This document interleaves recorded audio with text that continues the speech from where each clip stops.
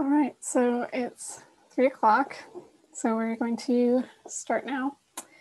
Um, so welcome everyone who's here so far to our third workshop and our Creating the Eco Living Kitchen series.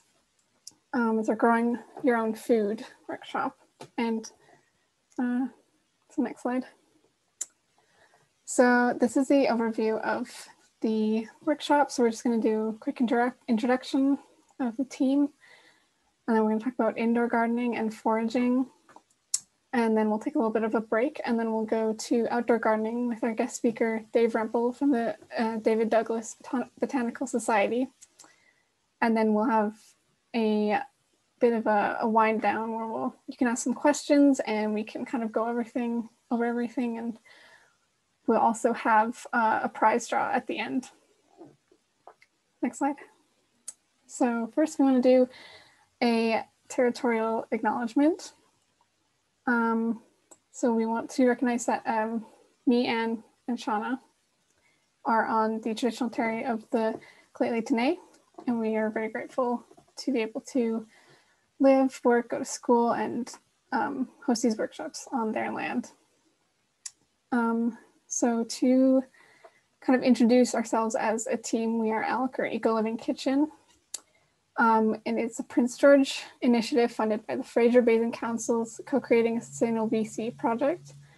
Um, the ELK initiative is the Northern BC cohort's attempt to address kitchen, kitchen waste, both organic and inorganic, in the north. This is the first, or this is the third, sorry, in a series of workshops that will give people the skills to reduce waste in their own kitchens. So now we're going to have the ELK team uh, introduce yourselves. I'll start with myself. I'm Hannah. Um, my pronouns are she, her, and I have I joined this initiative and this team because I really like um, being hands-on and kind of doing actual work in the community that I live in and take the things that I'm learning and put them into real situations. Um, and then next we'll uh, go to Anne. Hello, everyone. My name is Anne. Um, I go to UNBC. Uh, my pronouns is she and her, and um, I'm really grateful to be surrounded by such amazing um, teammates like Shauna and Hannah who are so passionate about the environment. And that's sort of the reason why I joined this initiative is to meet people who are as passionate as I am about sustainability. Thank you. And I'll go over to Shauna. Yeah, so hi everyone, I'm Shauna. Um, my pronouns are she and her. I'm also an undergraduate student at UNBC and I'm joined this initiative because similar to Anne, I really want to meet like-minded people in our community. I know there's a lot of passionate people here in Prince George who care about the environment and want to be taking action on climate change or getting more involved in sustainability. And I wanted to get more involved in that myself. Um, also, just to let you know, uh, we do have a fourth team member as well, Helga. Uh, they could not join us today, but uh, they are here in spirit. And so, yeah, thanks for joining us. I'll pass it back to Hannah. Thank you, Anna and Shauna. And like Shauna mentioned in the chat, you guys can introduce yourselves in the chat and the land of the indigenous land or territory that you're currently residing if you would like. Because um, we'd love to get to know who's attending our workshops and kind of build a community. And the last uh, part we want to touch on in the introduction is talking about our workshop structure. Uh, these workshops are a space for knowledge sharing. While the ELK team will facilitate the workshop, we are by no means experts. Uh, we hope to create an online space where everyone can share what they know and ask questions about what they don't know. Uh, please be welcoming and kind to everyone. And so that's kind of like the three basic parts of our workshop is being inclusive, collaborative, and kind. So next slide, please. So today we're going to be talking about gardening and we're going to split it into two sections, indoor gardening and outdoor gardening. Um, and the first question is, why do we garden and why should we garden? And why does that help reduce food waste? So there are a couple of reasons why gardening reduces food waste and why it's good for you. Um, and you guys are feel free to put in the chat uh, what your ideas are about why gardening is important to you. Um, but one of the reasons why gardening is so important is it brings the community together. So whether you have a community garden um, or if you have your own garden and you have a lot of um, vegetables that you harvest and you share them with your neighbors, or even if your neighbors come by and they ask, Oh, how do you grow this? It sort of builds that dialogue with uh, your community. And it also enables you to share what you harvest with others and uh, be grateful for the food that you have because um, you've grown it yourself. And another sort of um, benefit from gardening is that you know exactly what is in your food. Um, whether they're pesticides or herbicides, or whether or not you don't use them uh, as well. Um, you know exactly what's in your food, and it makes you feel more reassured about what you're eating and whether or not it's healthy for you. So that's also why gardening is um, really important as well. And another thing is that you can be really creative with your garden, right? You can choose what to garden. Um, you can make it look really pretty. You can grow lots of flowers. um, and it also helps to create your own little ecosystem in your own backyard, right? So if you have all these bees and you have snakes and then you have all this wildlife that comes by to your garden, it also helps, um, you know, the the whole environment and um, increase populations of, say, wild bees that don't have um, the flowers uh, that they usually get access to. They can go to your garden if you have flowers for them. Um, it's also much cheaper because you don't have to go to the grocery store. So you save on time and gas as well. Um, so that's also a huge benefit of gardening. And of course, you make really good memories. So if you ever grow anything yourself, like carrots, they look very different from what is from the grocery store. They look all deformed and really weird. so it's always nice to take pictures of what you grow and to have some memories from that. So that's also why gardening is pretty cool as well. Um, and uh, next slide is we're going to talk about indoor gardening. Um, and there's three ways you can sort of start your own indoor gardening. I'm by no means an expert. So if any of you do indoor garden and you have any input, please feel free to put in the chat. Um, but there's three ways. So one is you can grow um, your food from scraps that you find in the grocery store. And we're going to talk a little bit about our experiences doing that uh, which is really awesome because um, you don't waste any of the food scraps and you can actually use it to grow your own food, which is pretty cool. And then another is that you can actually grow from seed. Uh, you can germinate inside indoors and you can actually grow food indoors. Um, indoor gardening is really great for people who live in apartments or who don't have uh, the luxury of having a huge backyard um, or access to a community garden. So you can grow, um, you can germinate them in soil. So you can see here, you can use like an egg curtain and also the eggshells are really good because once they break down, it releases calcium and nitrogen as well, which is good for the plant as it grows. And then third is, I'm not sure if any of you guys heard of it, but it's uh, called hydroponics. So it's basically using water and some nutrients um, rather than soil to grow plants. And you can totally do that indoors and it's not very messy, which is nice. So next we're going to talk about our different experiences growing vegetables from the grocery store. All the scraps that you get, you can actually regrow them. Um, but first, um, is going to go over the indoor kit setup. Um, some of you might have received this uh, a few days ago. So she's going to go over how to set it up. Hmm. So actually today, um, yeah, we're very glad that so many of you registered from Prince George and we were very excited to get you all your gardening kits as well. Um, we had a lot of fun putting them together and everything, so we hope you enjoy them as well. Um, unfortunately, Helga, our fourth team member, was supposed to be the one actually walking through the kit setup. They're the one who actually has our demonstration kit, um, but they had to be with their family today and weren't actually able to make it in the end.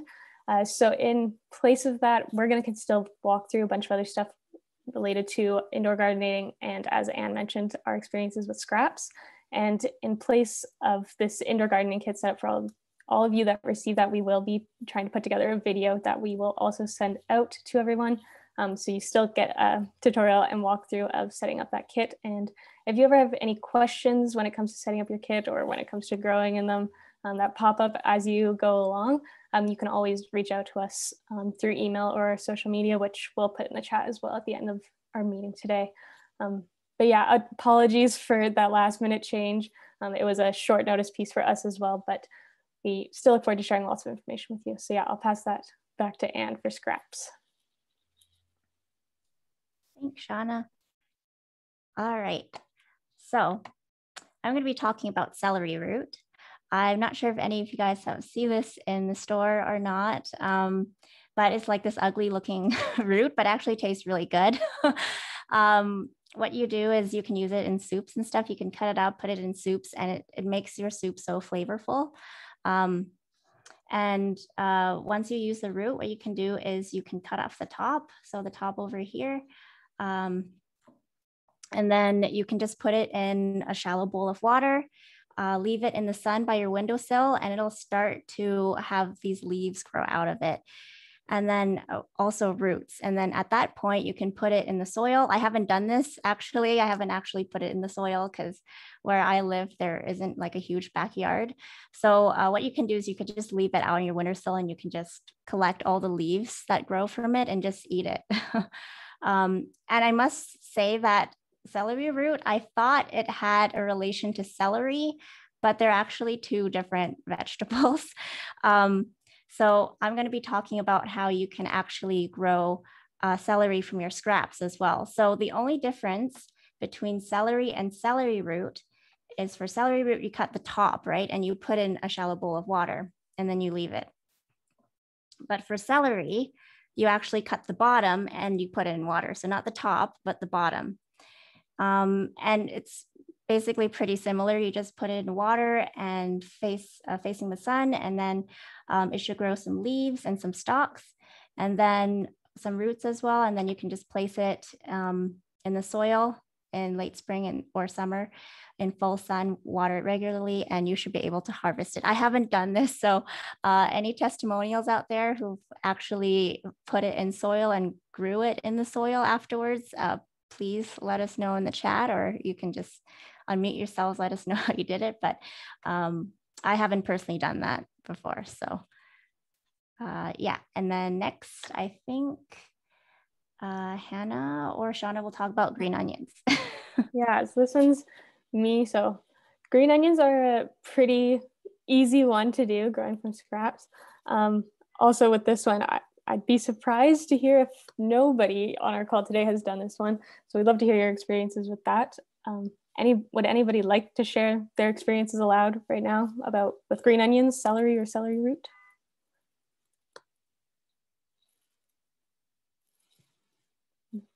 Well, I see Leanne My here in friend chat. does the green onion one a lot, um, Awesome. especially like throughout the pandemic. Um, I think she has a couple jars on her windowsill. Awesome, that's very exciting. Yeah, thanks, Judy. And this is mine from uh, from the pot. I planted it about three weeks ago and is growing quite well in the pot. Awesome, that looks celery. great. Yeah, thanks, Gwen. you're welcome. Awesome. Yeah, so there's a few folks on the call here who've seen this firsthand, but on the slides you'll see for uh, green onions, they're pretty simple. So once you kind of use up your green onion, leave about uh, an inch or so of the white part and the bulb and the roots at the bottom. Um, place them in a little small dish, a jar, a cup, whatever you have available to you. Um, that keeps them standing upright. And then you add water to the dish and leave about half an inch of the white still above water, so leaving that space still, um, and set it in a sunny place. Change the water out every few days, and um, after about a week or so, um, you'll really see these sprouting up, like in the third image here. And after you have that a few inches of growth, you can begin cutting it um, and using as much or as little of it as you'd like. So you can cut it right back down to that first inch, and it will still continue to grow. Um, when you're growing them in water, uh, you might get around five grows out of them, um, but it depends on a lot of different things, I suppose, and how lucky you are with it. Um, it could be more, it could be less, depending on how you're doing it.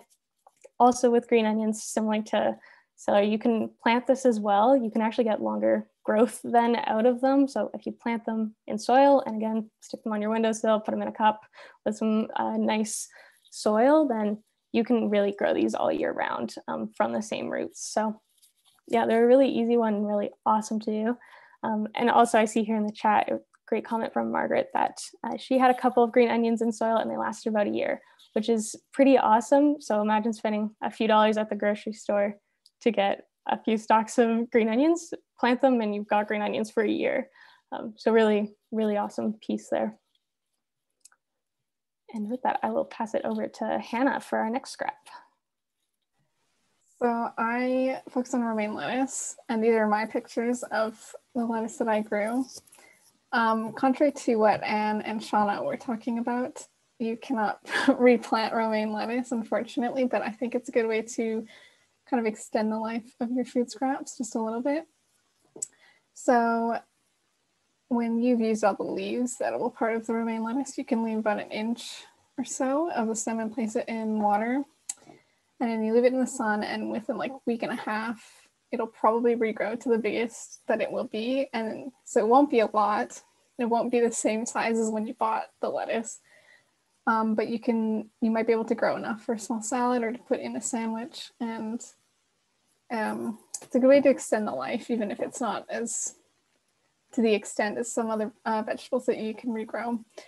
Um, there is the possibility of you waiting too long and thinking, oh, maybe it'll grow bigger if I keep waiting, but it can turn blue and grow bitter as it starts to try and kind of seed and regrow as a, a germinating plant, and then you really can't eat it, it will not taste good.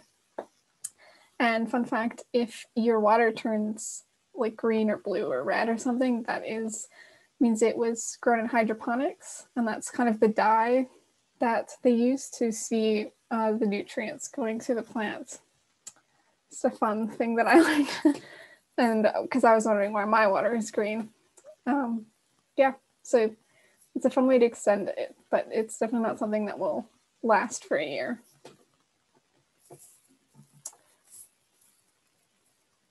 Yeah, so Judy's also experienced that. And then our last um, regrowing thing that we're going to talk about is potatoes. Um, so I'm sure that everyone's probably bought potatoes and left them a little bit too long and they start growing what they're called eyes or these stems out of them. Um, so if you do get that, you can plant them in a large bucket of soil and they will start to regrow. And you can also cut the potato into pieces with those eyes and get many potato plants or potato uh, regrowths. And there's two methods for growing sweet potatoes from the store. So you can place them on a covered bed of moist soil and then put a thin layer of soil over them as they sprout. Or uh, if it's a small potato, you can kind of suspend it in a jar of water using toothpicks and place it in a well lit area and it'll sprout. Um, also, you should take note that store-bought potatoes can sometimes take longer to produce eyes, but if it's stored in a warm, dark environment like your pantry, um, they eventually will. And at this point, they can be planted like regular seed potatoes. Uh, just to make sure that to hill them and mound soil around them as they grow so you can maximize your yield. So lots of soil means lots of potatoes. And then I think we'll go next to Anne's piece on foraging. Thanks, Anna. Um, so before we go to the foraging part, um, does anybody have anything they want to share? Maybe some other vegetables that they've grown from scrap that was not mentioned here? Let us know in the chat or feel free to unmute yourself.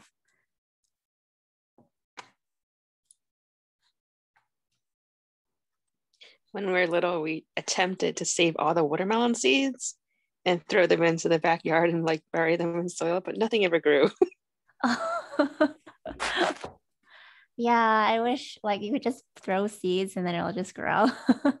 I've done that with lemons too, and it didn't work. Has anybody tried avocados before? Avocado seeds? No?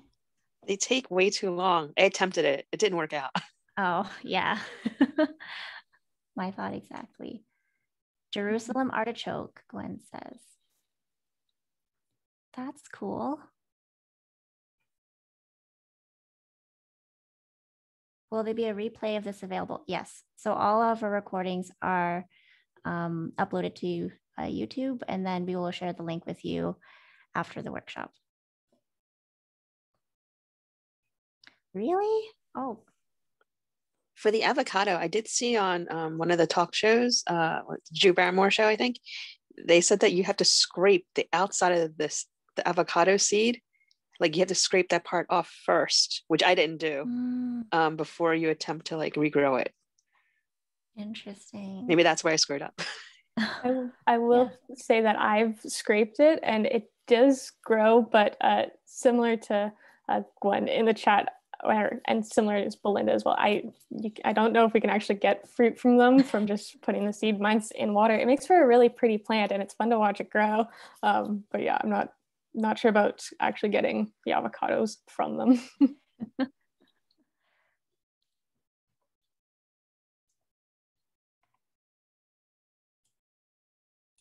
okay, cool.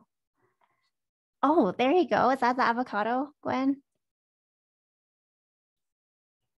Oh, you're you're muted. This is my avocado in a little pot and I ah, cannot so remember how many months it has been in there. And I didn't, I tried the one where you put the toothpick and it didn't work. So I just put avocado seeds in this, two seeds are in this little pot and it grew.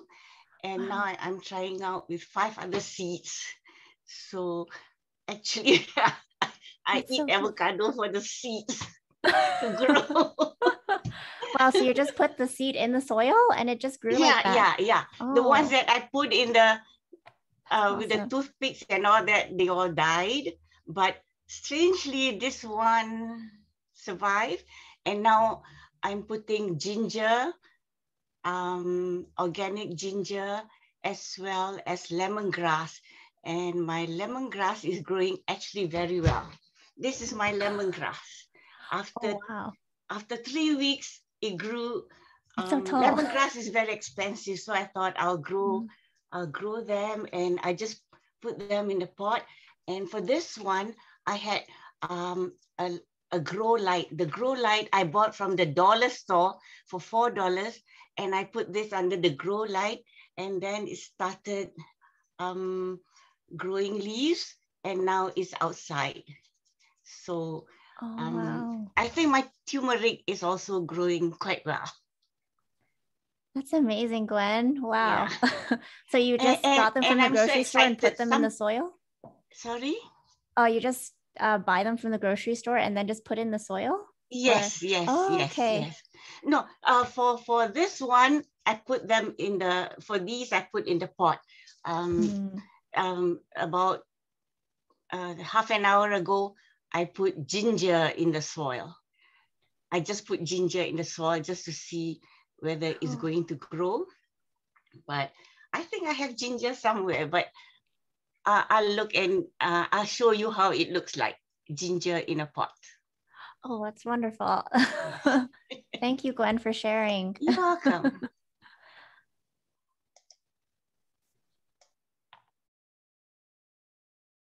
Wow, so that's pretty cool. There's so many things you can grow. So exciting. Okay, so um, we're going to move on to foraging, but if you have anything else to share, please do so in the chat. Um, I'm just going to go briefly over different things that I've personally foraged for um, I'm by no means an expert. so, just a disclaimer don't take everything I say and um, just go out to the forest and just pick stuff. Um, I will tell you some foraging tips after this. But uh, these are the ones that I've personally picked and I've eaten and I am alive. So uh, you can count on these being okay to eat, maybe. Um, so some of you might recognize what these are. So um, if you do, just put in the chat like what they are. Um, but I'll just go from the top left picture and I'll go around uh, clockwise. So the top left, I'm pretty sure all of you guys have heard of this, but they're fiddleheads. um, and I think the season is over now. Um, but like three weeks ago or maybe even two weeks ago, you can pick them. Um, and the growing season is pretty short for them. So um, once they grow, yeah, baby ferns, um, you'll have to pick them when they're actually emerging from the ground a little bit. Um, if they start to have um, leaves that sprout out from them, then they're not very good to eat. So usually you want to eat them when they're like in that sort of fiddlehead configuration, just popping out of the ground. Um, so those are fiddleheads or ostrich ferns. Um, and then on the right, these are false Solomon seals. And um, they grow pretty close to fiddlehead. So if you ever go fiddlehead picking, you might see these next to them or around the area. They sort of grow together. Um, and these uh, you can also pick, and all of them, they, it, they're sort of similar in how you can prepare them. Actually, you can just fry them in butter and garlic and some onion and just eat them like that. Um, it tastes a little bit like asparagus. Um, I find the fiddleheads taste a little bit like spinach, but I think it's like a nuttier flavor. Um, and then the one on the far right is fireweed. Um, so those are fireweed shoots. And um, you'll probably see them as you walk popping along. They have some sort of uh, reddish brown leaves that are sort of connected to the stem, like all sprouting out from the stem. So that's how you can recognize them. Um, and then you can do the same thing. You can just take them and fry them in butter. Um, are there any fern species of fiddlehead that you should not eat? Oh, okay. So that's a good question. So oftentimes beside these ostrich ferns, there are other types of ferns that look similar. So these ones, you can see that there's sort of this leathery paper, paperish um, thing that is um, attached to it. Um, and it's like one layer only, but there are some ostrich, uh, there are some ferns where um, they have lots of little brown papery things, and that's a different species. And they also are, they look a little lighter than the ostrich ferns. Those ones you can eat. I don't know why people don't really prefer them to these uh, fiddlehead ostrich ferns, but I think it's because they have too many of those brown papery things. So it's pretty hard to wash them later, but you can totally eat them. it's fine. Um, I'm not sure about the fiddleheads that you can eat or the species that you can eat though. So I just know that the ones that you can eat look like this. So if anybody has experience with other types of ferns, please feel free to share in the chat. Um, yeah, so there's a fireweed on the far right and it tastes a little bit bitter if it grows too much. So you wanna harvest them when they're maybe yay high. Um, and yeah, you can just fry them in butter and just eat it like that. It's pretty yummy. Um, and then on the bottom right, uh, these are mushrooms. So be very careful with mushrooms because it's very hard to identify them. And please bring an expert when you go out and forage for mushrooms because you don't want to get sick from eating mushrooms. Um, some people have died eating the wrong type of mushrooms, so please don't do that. But I know uh, when I was walking by Ospika, um, and if you go down to Superstore, um, there's a bunch of these mushrooms actually on the side of the road you probably don't want to harvest them right by the road, but if you harvest them near the forest, then it should be fine. But these are called slippery jacks, or their scientific name is uh, Luteus suilis, I think. Um, I'll put it in the chat later, but um, they're called slippery jacks because they're actually pretty slimy. They have a brown cap. And um, what you can do is you can wash them and you can basically cut them up and make it into an omelet. Um, so those are pretty yummy. Just make sure that you know for sure that that's the mushroom before you go picking it. Um, I just somehow knew because I had a friend who knew about these mushrooms and he said they're edible. So that's why I trusted him and I, I picked them. Um, but yes, you can totally forage for mushrooms and there's a bunch around Prince George that are edible. And then on the left here, beside the mushrooms, are um, what is it, stinging nettles. Yes, so you can also find these growing close by to the false Solomon seals and also the fiddleheads. And make sure that you wear gloves when you harvest them because they are stinging nettles. So they will sting you and it hurts a lot. So um, just make sure you wear gloves and how you prepare them. You can make them into a syrup, which I've done before, or you can also boil them and eat them just like spinach as well. Um, they're pretty yummy and pretty nutritious. Um, but yeah, make sure that you don't eat them raw because that's not pleasant. And then, of course, there's a lot of berries that you can harvest as well. So um, the last picture here is of Saskatoons. So um, Saskatoons are pretty yummy and you can make them into jam and um, syrups as well, or you could just eat them from the tree like that. So yeah, just let us know in the chat if you know of any other things that you forage for personally. Um, and yeah, just some foraging tips, of course, is if you don't know, don't pick it. it's better to be safe than sorry. So if you see something and you're like, hmm, is that a fiddlehead? And you don't know for sure if it is, just don't pick it and, and eat it. Um, or if you want to, you can pick one and just ask somebody, is this a fiddlehead? And then later on, you can go back to that spot and pick more if it is. Um, make sure that you wash everything before consuming, of course, um, because there's a lot of bacteria or microbes that are probably not good for your tummy. So you want to wash before consuming.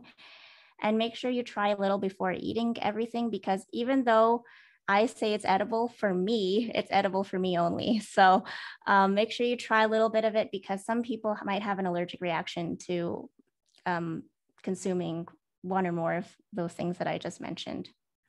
So try a little and then eat more if you can tolerate it.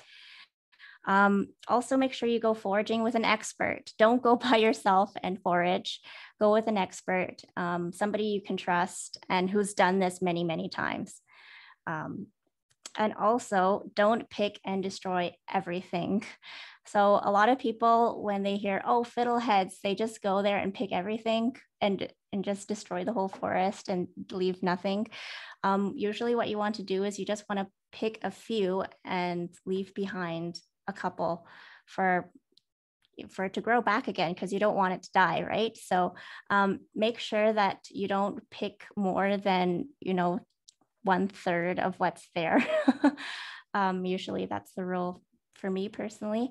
Um, and of course, give thanks back to nature um, because, you know, it's, it's not an indef- um, indefinite resource or an unlimited resource. Um, once you pick it, it's gone, right? So um, give thanks to the land that you picked it from and also to Mother Nature for providing sustenance um, and be grateful for the food that you have. And I also see a lot of people as well commercializing uh, many of these things, and that sort of contributes to the whole picking and destroying everything. So make sure, you know, you don't support that. I mean, try not to, because it means more people will pick it and there will be nothing left. awesome. Thanks, Leanne. okay. So those are the foraging tips. Does anybody have any questions about foraging before we go over to the break or questions about anything we've talked so far in general? I would say be safe and make sure you wash everything before like just consuming things. And like you were saying, maybe like bring bring somebody with you that's an expert or let people know where you're going before you go just in case something happens. Oh yeah, for sure. that's a really good tip. Yes, Gwen. So you can show your ginger and veg plants. We'd love to see them. okay. This is the ginger plant. Can you see? This is the ginger plant. And I just put um, the organic ginger and it started growing. Um, and I'm not sure. I think this is bok choy. Am I right? Is yeah. this bok choy? Mm-hmm. So I ate all the, the leaves outside and I just um, put this in, in this little pot. I think this is a three inch pot and, and I do not want to take it out because the roots will, will get torn. And I also have this. I do not know whether this is also bok choy. I ate all the Oh. outside and put and put this in the ground, and it started. And I think it's growing very well because Yeah, after awesome. two weeks, it, it did nothing died, nothing dried up. So, and this is actually outside in the sun right now. So, That's and- amazing. and I think these are the potatoes you were talking about. Seeds growing. Oh, I've Oh, got yeah. I've got another eight or eight other potatoes, but the thing is I don't have enough pots and I don't have enough land. I just don't have the land to grow. And I wish I can grow them, but I'll see. I'll, I'll still try to see whether um, you know, I can grow something out of it, but I already have potato plants in pots. Wow, thank you so much for sharing. You're yeah, you see, there's so many things that you can grow so easily. Just yeah. Put it in a pot. Yeah. Even in the end, if you don't eat them, it's Mhm. it's the uh, excitement, the uh, Mhm. the feeling that you you you can make something grow. It gives you a lot of satisfaction, and especially during times like this, I need that. I just need that to, to feel good, you know. Exactly. And the whole world is is alive to me. Yeah, I mean, if you fill your whole room with all the greenery, oh, it's it's so uplifting when you go into that room. Exactly. yes. Exactly. So now now that I don't have space to plant, maybe I'll I'll put it um near the window inside the house and hope it grows. Yeah. Oh my Yeah. God, that's so cool. But Thank you so you, much for sharing. I Mhm. every every time when I see it grow, uh, I will touch it and and you know, it just I mean I don't sing, I don't sing to my plants, but I will touch it and and I think the plants sort of sense that you are happy and they just grow Mm. happily for you. I think yeah, exactly. Well, they're living beings, right? So I think so. I yes. I mean to me that's how I feel, you know. yeah, totally. And it's o- totally okay to sing to your plants too. I think they'll like that as well. I don't have a good voice and I'm scared they might, they might not grow after that. awesome. Thank you so much, Gwen, again for sharing. You're welcome. You're welcome. Okay, cool. So now I think it's time to have our break before we have um, our session on outdoor gardening with a very special guest, Dave Rempel from the Du- uh, David Douglas Botanical Society. Um, so we're just going to take a five minute break. Um, feel free to um, keep writing in the chat or show each other um, other plants that you've grown in the meantime as well. Um, but this is a chance for you to just take a quick bathroom break. We'll be back at four, uh, sorry, three forty-three. See you guys soon.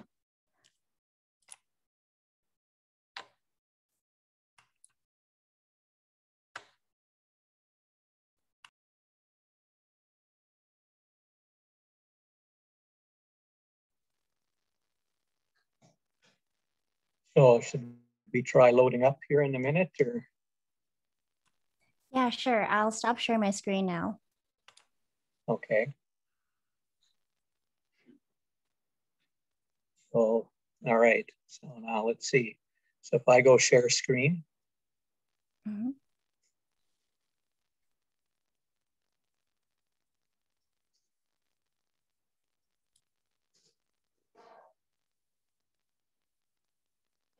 is it there?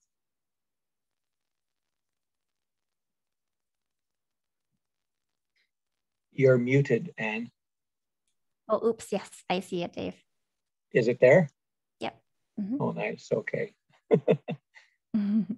Um, right. Should I leave it like this or or go to uh, go to slideshow already? I can leave it like this till you're ready, or Um, I think you can go straight to the slideshow, Dave. Mhm. yeah, okay. So slideshow, and from the beginning.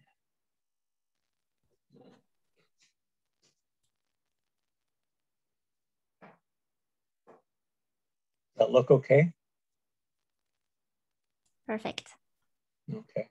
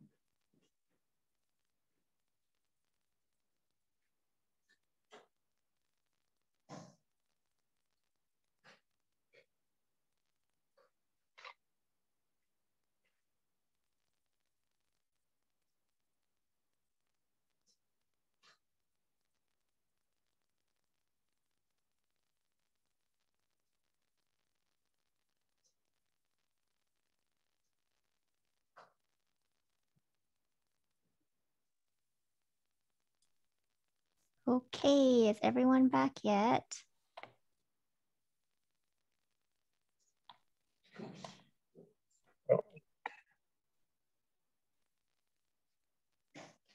We're going to start very soon. Okay, great.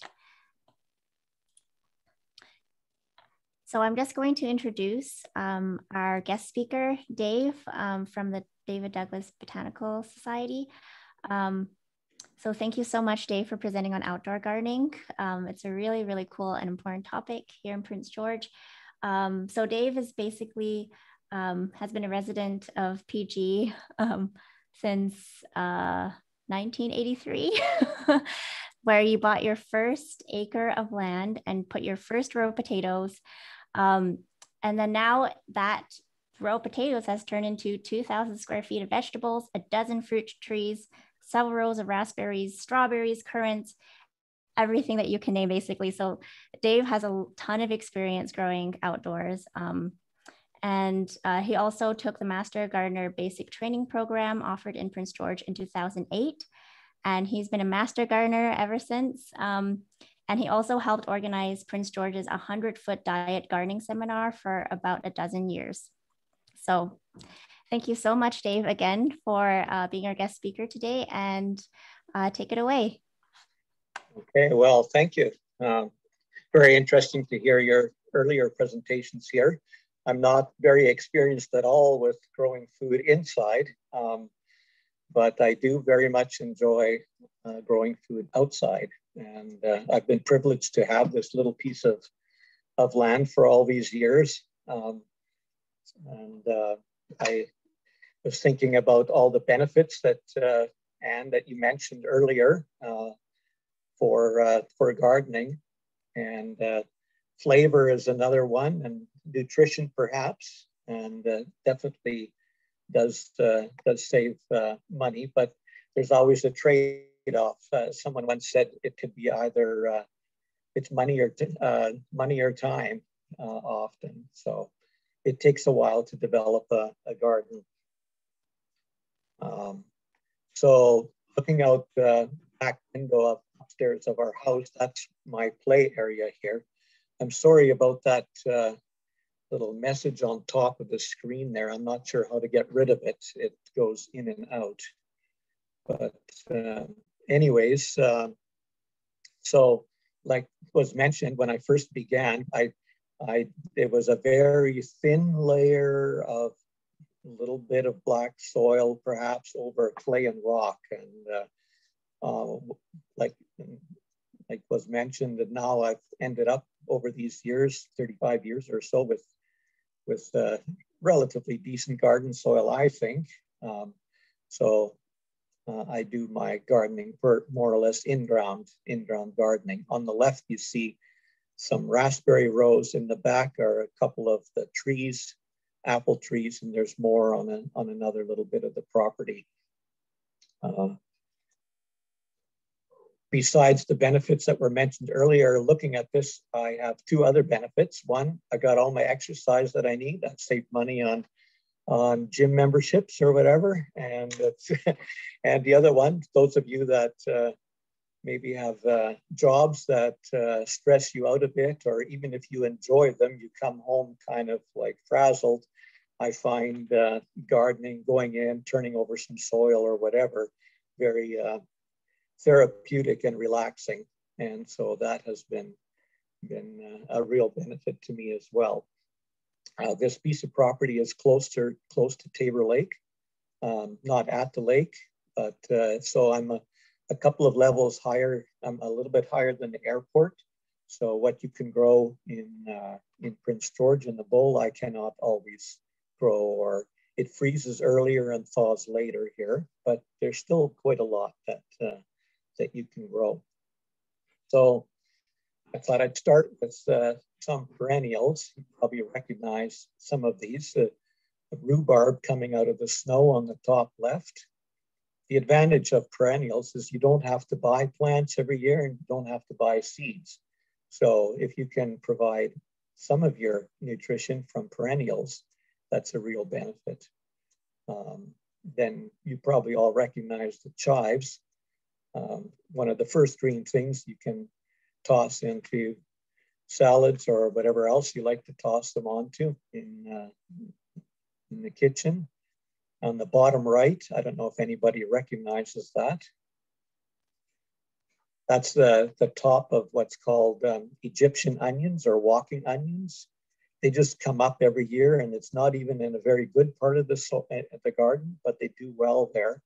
So at first, it's like like onion tops. Uh, you can eat them like like onion tops, like greens uh, we've already had for several weeks already. And then after a while, they grow larger and uh, maybe not quite so edible anymore. And they grow these bulbils on top. Um, and then from which they grow up again. Those bulbils are easy to plant if you want more. And uh, if you're willing to fiddle with them and peel them, they uh, is sort of like a mild garlic uh, flavor or taste, sort of uh, onion garlic or whatever. The bottom left is, uh, I don't actually use it for food. That's, um, uh, let me think again. Uh, right, borage, borage, borage. I'm saying that correctly. So it's great for bees and uh, um, the thing is, uh, don't uh, be careful where you plant it because if you dig part of it out and want to try to get rid of it, it'll grow again and it grows from all the little rootlets you leave. So like mint, you want to kind of be careful. Uh, otherwise it'll spread around on you.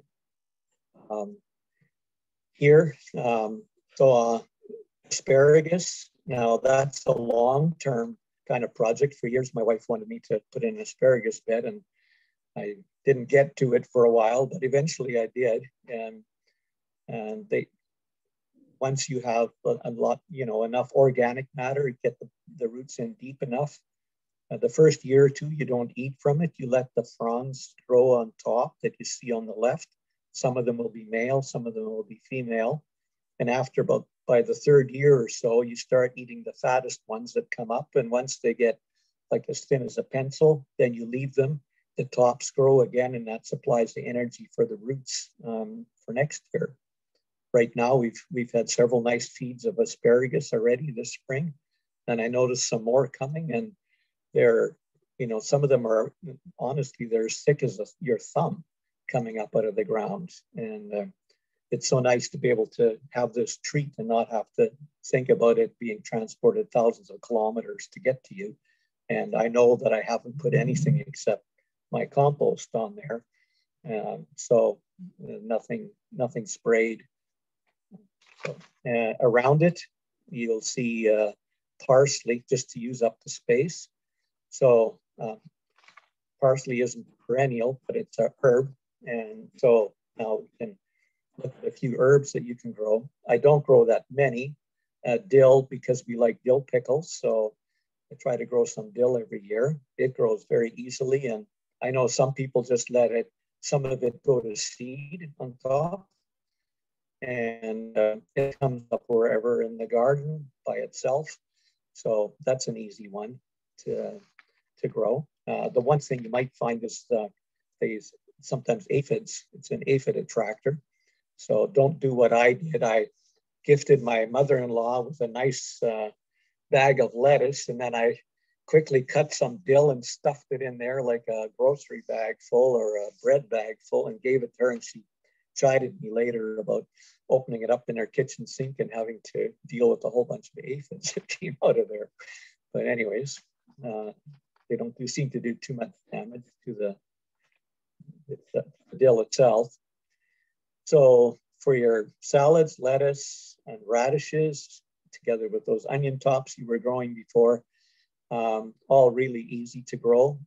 The only thing is for radishes, they don't really care for the heat too much and the long days in summer. So right now I have radish, lettuce, and spinach coming up, and uh, they usually do quite well for a few weeks in spring. And then uh, not every year, but some year I've managed to replant again in say later August.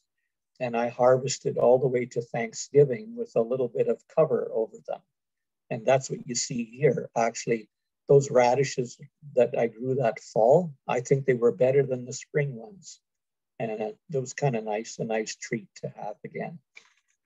Uh, so here's just a few, uh, a few names of um, varieties that I've, I've grown. I mean, if you, if you buy, you know, if you go to the nursery because you're not, you don't buy the seeds, then you don't have much choice. But on seed racks, there's usually a lot of choice. And towards the end uh, or at the end of the slides, I'll have uh, some references where you can, some seed catalogs or where you can go for information if you want to try different varieties. Leaf, leaf lettuces seems like the easiest to grow and there's dozens and dozens of varieties. This is just some that I've grown. Uh, the ones that are more, I think, called butterheads uh, they're they're not bad too. They take a little bit longer to grow, uh, for me, anyways. Um, the tennis ball and the tom thumb, they're smaller, so uh, you know you can if you have a number of them, even growing in pots, you can just cut one for for lunch or for a salad for even for yourself, and you're not left with leftovers for the fridge or whatever kind of nice to have the small ones. Uh, what you don't see here is the romaine or cos or the, the head lettuce. I have grown it too, but that takes quite a bit longer to grow. And sometimes if the summer gets hot and dry, then it's a little harder to get some nice tasty lettuce from there. Other years, it goes good. Radishes, this, the, oops, I'm sorry. These first ones, French breakfast is more like your, uh, like, uh, looks more like a cylinder with a little bit pointed at the end. And there's a whole variety, Cherry Belle, Rudolph, Champion, and others that are red on red, red pinkish on the outside and nice white on the inside. If you want to try something different, German Giant is much larger, takes a long time, longer time.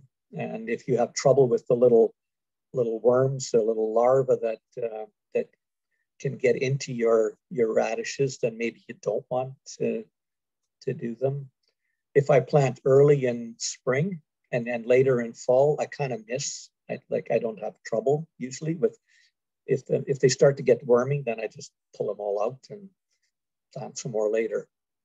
Uh, plum purple I grow because it's a well, it's an open pollinated variety, which are many of many of the others are also open pollinated, and but I have I don't know that one bolts easier it seems, but I kind of like uh, to see all the different colors on a plate. So having a purple on the outside together with the red and the light pink and the other others, the white icicle is, uh, is a white actually. Then there's others called watermelon and so on that are interesting. Spinach, you have to put in pretty early uh, because it as soon as the days get longer or and uh, it gets hotter, it, wants to bolt and go to seed. And then and then you might as well pull it out and put it in your compost. So these are some varieties that I've grown. I think I should maybe speed up here. You can grow lettuce in, in pots too. Uh, I think the one on the right is in sort of like a flower box container of some kind. Yeah. And in the left uh, one here, I got carried away and made up a whole bunch of pots with lettuce in them. It's nice just to go step out your back door and it's clean. There's no dirt on them, and uh, uh, yeah, it's kind of a nice way. Uh, onions can be easy to grow. Uh, you can buy onion sets, which are the easiest, but you don't have much choice for variety. Uh, the onions you see here, I grew from seed, but it, that's a quite a bit of work in a sense, or it takes time. So I started them in March and I grew them in a house under lights at first. And once it gets warm enough, then I put them out on the deck and and they take a long time to get, and then they, you transplant them and uh, then you can get quite nice big ones. Carrots, the main problem I have with carrots, because I have such clay soil, is germination. Uh, but once they're germinated, and if I'm uh, restrain myself and don't try to seed too thickly, and not have to thin so much, you can get pretty decent carrots. I had lots of trouble with carrots for quite a few years. Now the main problem I have is the carrot rust fly and it, it lays its eggs close to the carrot and then and then the larva that has drill holes through tunnels through the carrots. And so one way to um, avoid that is to put like a floating row cover over top or uh, even put sides around the bed that you're growing your carrots in or around the row, like uh, something like Coroplast or some something that's 18 inches high. Apparently the fly doesn't fly higher than 18 inches. Um, so I try to go two feet anyways. And uh, that seems to get rid of or avoid most of the, the carrots. So if you do have trouble with the carrot rust fly, uh, one one variety is called flyaway that seems to be resistant. And as far as I can tell it, tell it still tastes good, tastes like a good carrot. Uh, Bolero and Amsterdam, they keep pretty good, pretty well for me in the cellar, in the cold room. And then uh, Nantes varieties of various kinds. Um, the more blunt shaped ones, because I don't have very deep soil, so I, I don't grow the, the typical very long uh, cone-shaped pointy ones that the Brer Rabbit likes because uh, my soil isn't actually deep enough. I have clay and hard pan further down. So, and uh, I don't know if I'm pronouncing it, it right, the Chantenay carrots, they're more broad shouldered, they're tapered, but they don't go so deep. So, um, yeah. Beets, beets uh, I find pretty easy to grow most years. Um, some years, I don't know exactly why it doesn't grow so well. It might be the soil, but beets and chards grow well. Um, some names of varieties have grown across the top there. Um, red Detroit dark red is a, a, very common traditional grown for decades, and the others are all pretty good too. If you are in the habit of wanting to grow some, if you have a way to store uh, in your room a colder, a cooler place in where you live, then a winter keeper or Lutz green leaf is the other name for it. Um, it, what I like about it, you can just harvest it in fall, clean it up a little bit, and stick it in a bucket. And yeah, you don't have to hardly do anything, and it it keeps for months there. And uh, Cylindra and Tanis, Tanis, they're both like uh, like yeah cylindrical carrots, and they can grow. Uh, uh, sorry, uh, beets. They can they can grow up to like I don't know four inches, three four centimeters in diameter and long, and uh, really nice for processing and or just preparing for supper. The, the yellow ones, uh, Burpee's Golden, and you can't see the name of the other ones, Touchstone Gold. Uh, they're a little trickier, it seems to me. They look so nice on the table. If you if you can uh, prepare them separately from the red ones, they, that makes such a beautiful dish. The red and the the yellow beets on a plate. Uh, or if you if you can them or pickle them, they're just so attractive. But I find they're a little harder to germinate. At least I find it that way, and they're not as vigorous growing. At least not for me. And uh, if you like Swiss char for the the tops, grows fairly well and easily. I find. Uh, uh, Fordhook Giant is probably it's a green one, green stemmed one. It it grows the largest.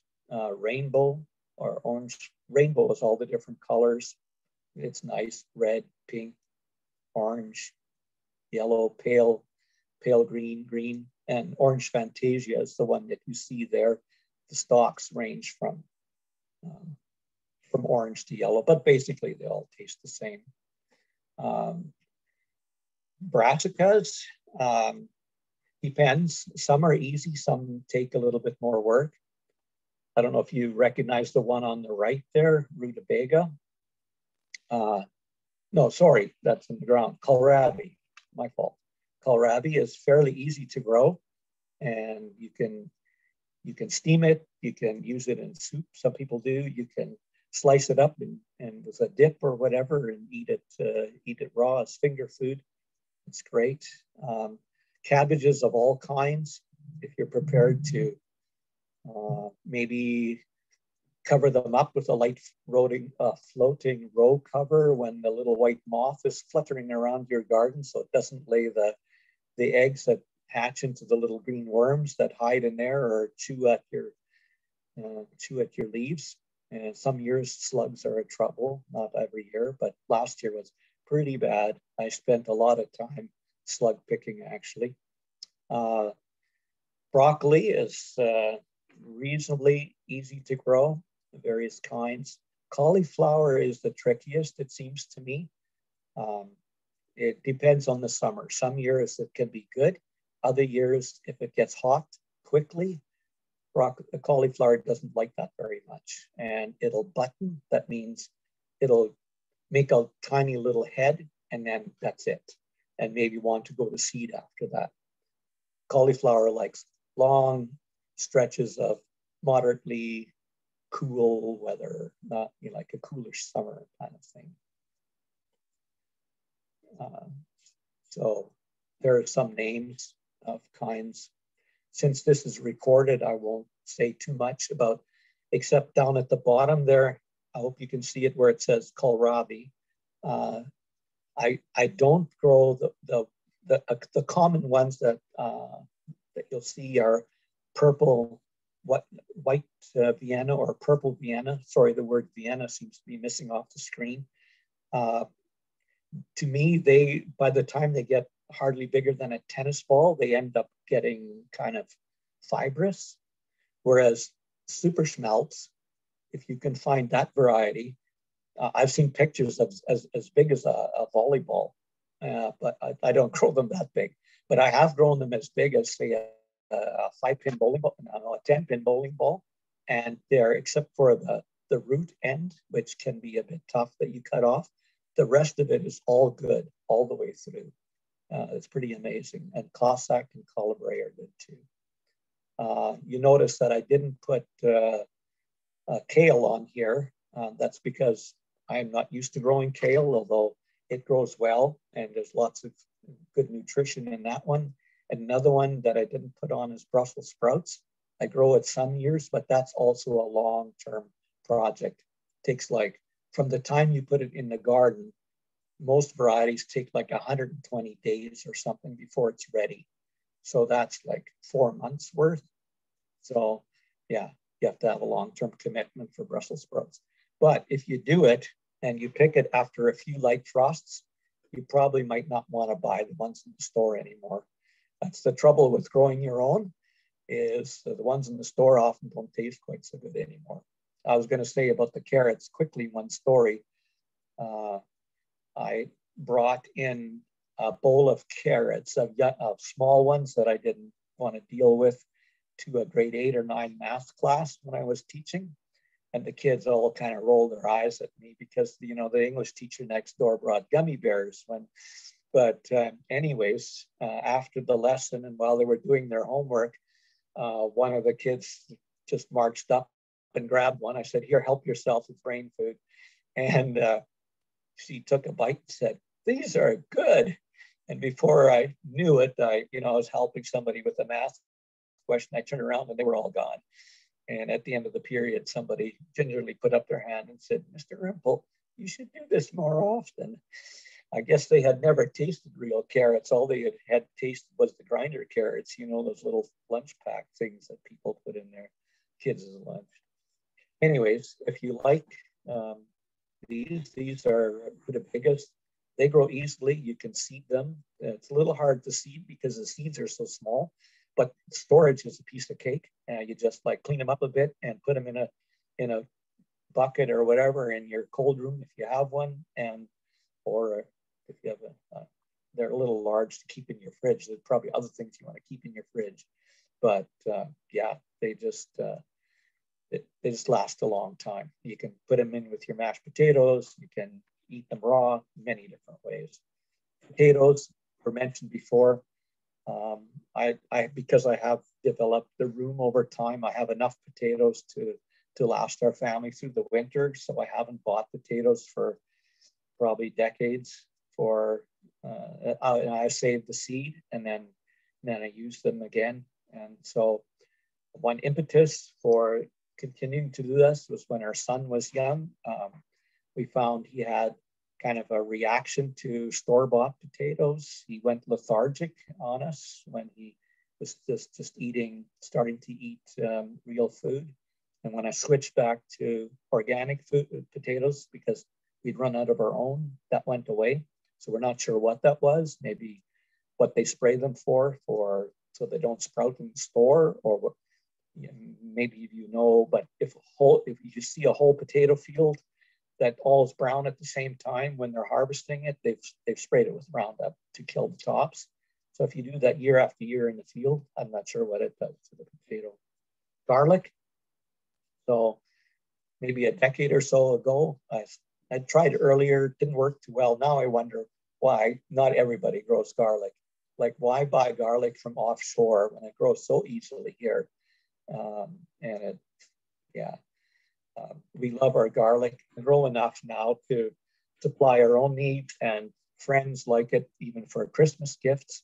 It's once you dry them, I just put them in paper bags or in, in, in a cardboard box in the basement. And yeah, they, I'm, we're eating the last ones now. I told the family I've, I've only got like 10 bulbs left, so that's 10 weeks. So maybe my next crop for this year should be ready. Uh, peas uh, are traditionally very easy to grow here. one year I made the mistake, maybe, I don't know if it's a mistake of growing one called tall telephone. That's what you see growing on the left. That's quite a few years ago when my parents were still alive. But my, they were impressed that their son was able to grow peas that grew that tall. So maybe unless you're willing to put up a, a, a trellis or something, don't grow tall telephone. There's uh, many others that grow well, uh, you know, to waist or shoulder height. You'll still want to put them up, grow on something, because if they just fall on the ground, then when it gets wet, then they get moldy and slugs are accessible to them. So it's better for them to be up. Beans, uh, beans, of course, are a hot weather plant. That's what you see in the in the box in front here, but uh, they're those are bush beans. Um, I have them some in a in a raised bed uh, so that I can cover them in spring and in fall, but if, if the weather gets cool. Uh, the disadvantage is that there's not much airflow down there. And if it gets damp down in there, then sometimes I have trouble with it, with mold starting in there. But uh, very good. And some bush beans, what I look for are the kinds that um, say um, have the shortest days to harvest. Uh, they're usually ones that will be successful. And the ones I have listed here, most of them you pick them when they're like pencil, pencil thin. And some of these will freeze okay, and others you just want to use for fresh. Pole beans take longer, but they have you get more out of them. Um, purple peacock is nice for stir frying and for eating fresh. It it's easy to pick because it's purple, but then uh, uh, yeah, it, it turns green when you steam it or whatever. But they don't freeze well. I found when you thaw them, they turn mushy, whereas the other ones listed there, uh, they, they're good for freezing or canning as well if you like to do that. Dry beans, I tried for the first time last year. I thought, oh, I'm going to experiment. Well, wrong year. Too much rain. I didn't get anything. Slugs ate half of them. So that's a bit of a trickier. So that's my setup in the back there for growing the pole beans. I just, uh, those strings, um, they're actually nylon straps that uh, some I bought some firewood once uh, or was given to me. I saved the straps and used them year after year after year uh, twine is expensive. So gardeners usually make do with what they can find. If you like broad beans, maybe I know uh, I don't know if it's typical or not, but I know British some British people who say, "Oh, everybody should grow broad beans." Has a beautiful blossom, but you do want to keep it up off the ground. Uh, again, one year I didn't, and yeah, you don't get nearly as much of a good harvest. So they're easy to grow. Cucumbers and zucchini. Um, some years easier than others. Uh, they don't like to be transplanted that well. So you have to be a little bit careful if you buy them at the market, say at the nursery, and then harden them off a little bit and then plant them outside. Be a little bit careful with the roots. Uh, so um, a long-term project, if you want to grow them yourself from seed, uh, are um, uh, leeks. But again, easy to keep over the winter for eating by freezing. Or some years I just got busy around Thanksgiving. I dug them out and stuck them in a bucket, and they lasted in the bucket till Christmas time with a little bit of roots on them. Just went down there and ate them. So that's good.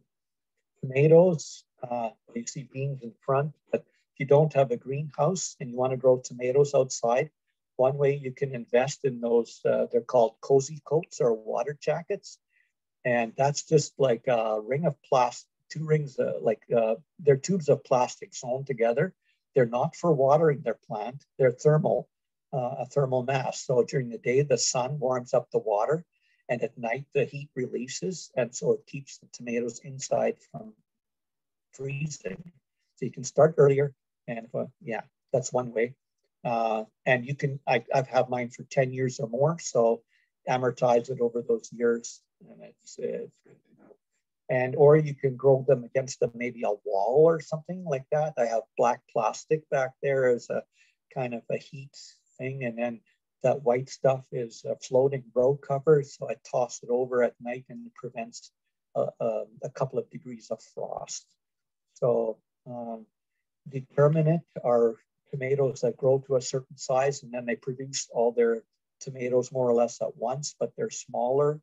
The indeterminate ones, they keep growing. Those are kinds that I've had success with, but there's hundreds of varieties once you get going. Now, just let me just buzz through some fruits. Raspberries are easy to grow, both yellow and, and red, and there's different varieties. The yellow ones, they're milder, but uh, they're not as vigorous around here.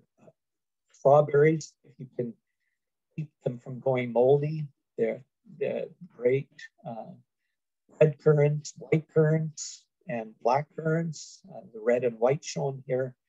Uh, if you like that, make jelly, jam, or juice uh, out of them to add to whatever.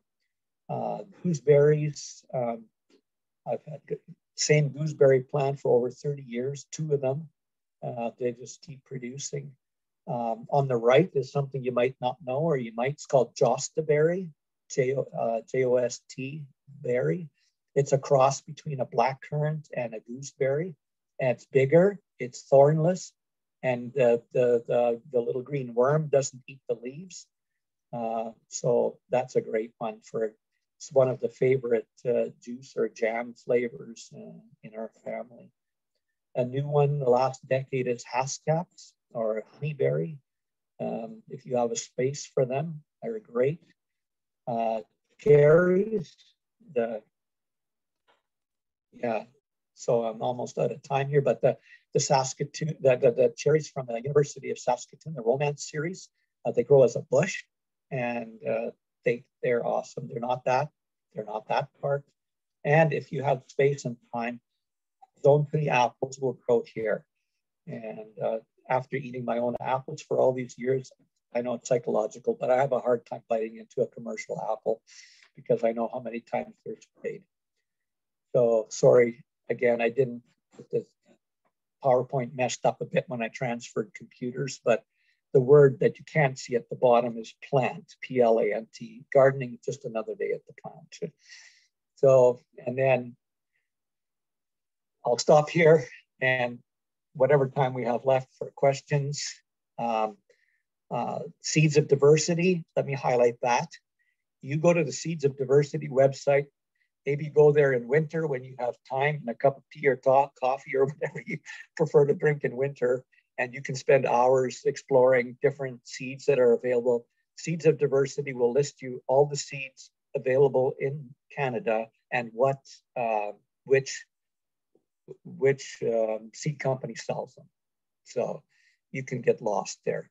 From the Ground Up is a local person who wrote a book about what you can grow in Prince George. It's mostly landscaping stuff, but it also has fruits, herbs, and vegetables at the back. And if you want to see examples of various fruits, the Railway Museum and the winery, they have, you, you can see what what some of the, you know, what Haskap looks like if you don't, if you don't know and so on. Anyways, I better stop. Thank you so, so much, Dave. whoever's, whoever's taken over.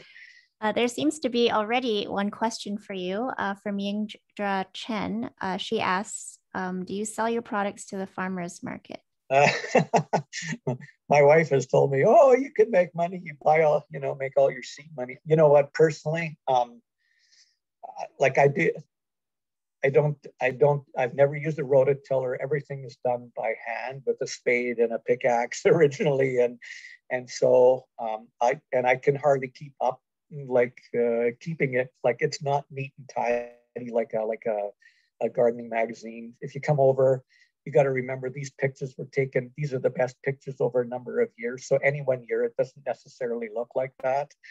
Um, but um, I do what I can. But personally, I just prefer to uh, give friends gifts of vegetables or people.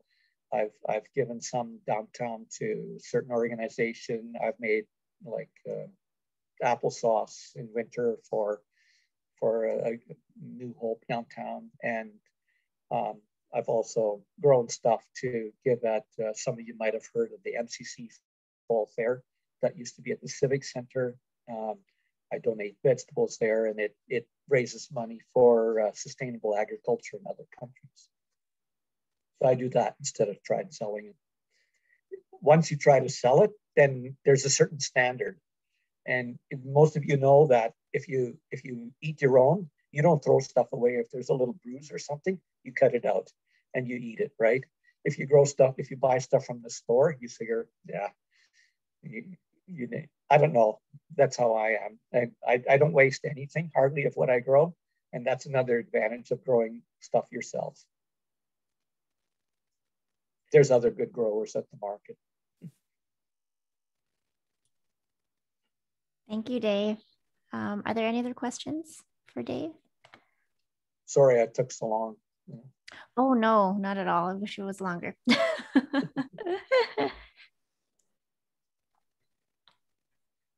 if you ever are interested in learning more about gardening, but in, in a sort of a broad sense, the Master Gardeners Association, the, the, the, local Master Gardeners Association, um, local branch, uh, it's through the David Douglas Botanical and Garden Society, but they, um, every second year we try to put on a, a, gardening course. It includes everything from soils to the biology to landscaping, but also to vegetable and fruit gardening. It's a, it's a good course if you can afford it and afford the, the time. And the, if you want to join the, the David Douglas Botanical and Garden Society, the one benefit for me, even though I'm not that much into the landscape stuff that uh, is up there, I appreciate it, but I, I don't have the, the time for it, is uh, you, most summers for years now, they have a, a, garden tours in summer every Tuesday evening. And you get to go into other people's backyards and see how they garden. And every time you learn something, it's really neat. And you meet a lot of interesting gardeners. And it's not very expensive. Thanks, Dave. That's a great tip. Yeah, we have a link to the David Douglas Botanical Garden Society um, in a couple of slides. But we have one question for you, Dave, from RB. Um, thank you, Dave. One question How to prevent animals eating the outdoor grown food? For example, bears, birds, tr- yeah. trees. okay, so so I've had different challenges over time. Like the the crows used to peck the next ripe apple all the time. I was waiting for the, you know, so I tried covering with the netting does not work very well. I found um, I tried doing those balloon eyes. Nowadays, I don't, for some reason, have so much trouble with crows. Um, moose, I don't know what to do with. They they come by and they prune my apple trees every early uh, late winter, it seems. Um, I think if I was around, I'd scare them away if I saw them, but they're pretty early in the morning. I just see the tracks. So I just go up after them and kind of tidy up their pruning later.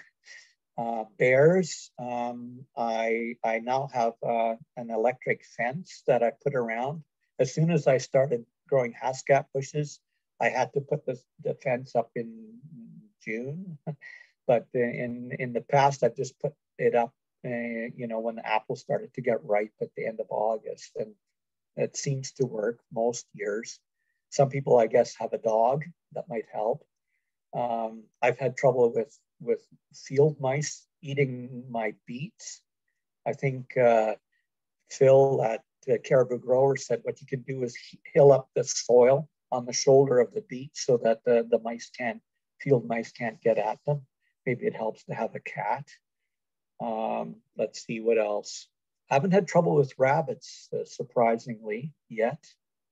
Um, then there's there's the little pests like flies that lay eggs that make little larvae that eat your stuff. But people in the organic gardening field they say, well, can always count on 10 or 15% going to, oh, you know, to pests, and then you'd be happy with the rest.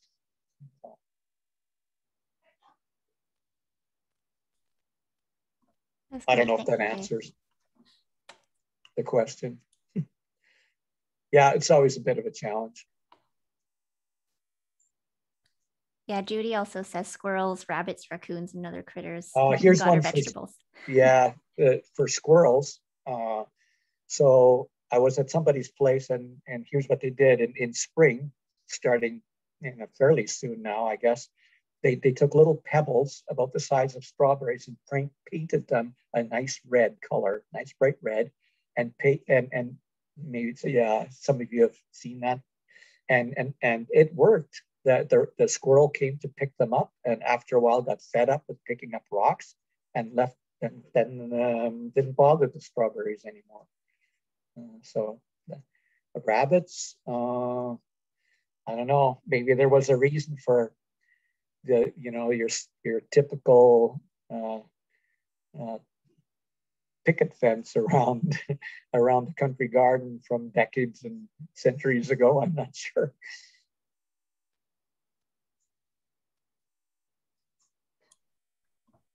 Thanks, Dave. Yeah. Mm -hmm. Oh, uh, one year I had trouble. I planted um, so onion sets, and they were just up a few inches. And one day I was looking out, and here a crow had landed there, and one by one grabbed the top of the onion set, flicked it over its shoulder, grabbed the next one, flicked it over its shoulder. Well, I went out and chased it away. But then what I did was I took some just some netting, even like even like snow fencing or something, and just laid it over top for a while till the onions were a little bit bigger, and then it was okay. So sometimes you have to cover stuff up a little bit at first till it gets going.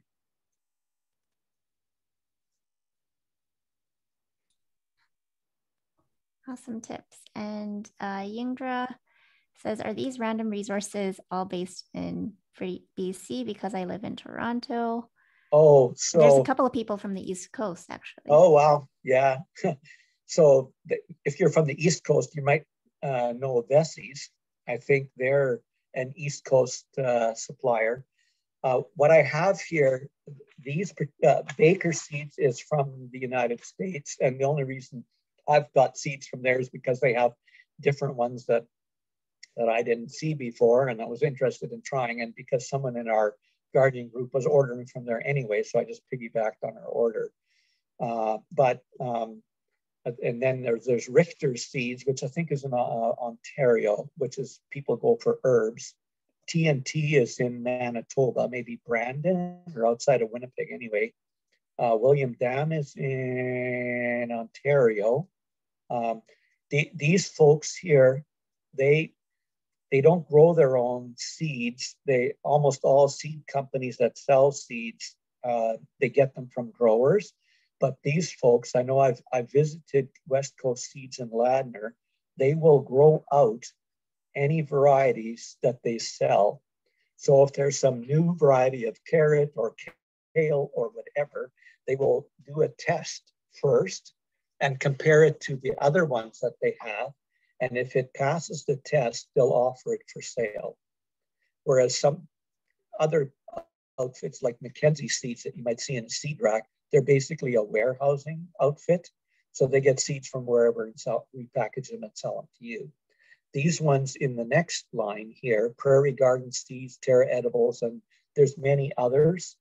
They are like sort of family run or individual run ones, often focusing on one particular thing, like Prairie Garden Seeds focuses a lot on various kinds of bean seeds, for example. I think Terra Edibles has lots of, of heritage uh, tomato seeds. Uh, they don't have as much information on their packages and so on, but they, they grow their own seeds. And like I said before, go to the Seeds of Diversity website and on there, you will find every vegetable you can grow in Canada um, and what supplier there, there is. Yeah. Awesome, thank you. So we're almost running out of time now. Um, so we're just going to wrap up. Uh, thanks again, Dave, for your presentation and for giving all that awesome information. Thank okay. you so much again. You're welcome. so I'll just I'll just stop share screen. Is that correct? Sure. Yes. Mm -hmm. Okay. Thanks, Dave. All right. So Shauna, you want to close? Mm -hmm. So for today, um, everything that we talked about, we want to wrap up in a few interesting resources. So these first ones that you see here are related to COVID-19 and kitchen food waste. So a large part of our initiative has really been focused, well, it is all focused on reducing kitchen and food waste. And we've really uh, seen a spike in that during COVID-19 with more people staying at home, ordering food in. Um, so just a few resources there if you're curious to learn more about that. Um, for gardening resources, in addition to the ones that uh, Dave just shared, uh, we also put a few in, specifically one on indoor gardening. So uh, some different vegetables, of, some more in addition to the ones that we have already talked about are in that first link. And all of these resources, along with the ones that Dave shared, we will be sending out in a follow-up email. So don't worry if you don't grab it now or anything, um, you'll get them to your inbox. And for the next piece, uh, we do for each of our workshops, we have prizes. So today's prizes are a mini watering can, gardening gloves, and nasturtium seeds. Um, and we will be picking a winner when I share my screen. Uh, to receive this prize, you do have to be in Western Canada, just so you know.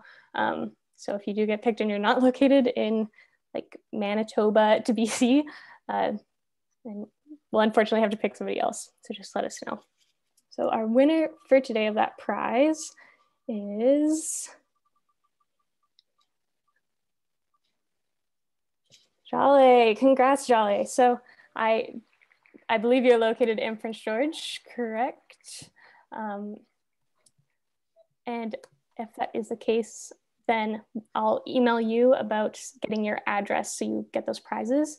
Um, for everybody else who attended today who didn't get a prize, um, you're also being entered into our final prize draw, which will conclude at the end of our workshop series at the end of June. And that's going to be a big prize box, including like a composter, more seeds, um, different local items as well. So the more workshops you attend, the more entries you get to that final prize. So be sure to keep tuning in. Um, also, stay in touch. Uh, you can find us on social media or through our email as well. You can contact us. I will put our social media in the chat. We'd love to see your pictures of different things that you're growing, your gardens or uh, your indoor gardening setups, everything that you're growing on uh, social media. So if you're posting that stuff, make sure to tag us. We'd love to see it. And as well for our workshop today, seeing as we are, we do have a few more workshops coming up between now and the end of June. Uh, we would love to get your feedback on what you thought of the workshop today, what, what you liked, maybe what you didn't like so much, your thoughts overall, so that we can continue improving these. Um, so yeah, that's all from us today, wrapped up in a few short minutes. Apologies for going a couple minutes over, but I think it was very valuable for all the information that was shared today. So thank you everybody for joining us, and we hope to see you at our future workshops as well. And remember for all the links and as well for the recording of this workshop. It'll be in your inbox sometime tomorrow. So thank you. Thanks, guys. Thank you, Dave.